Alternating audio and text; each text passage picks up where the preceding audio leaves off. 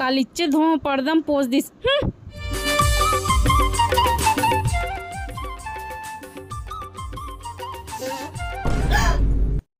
माफ़ करना गुस्से में इधर उधर निकल जाता हूँ। তোমার এসে कैसे?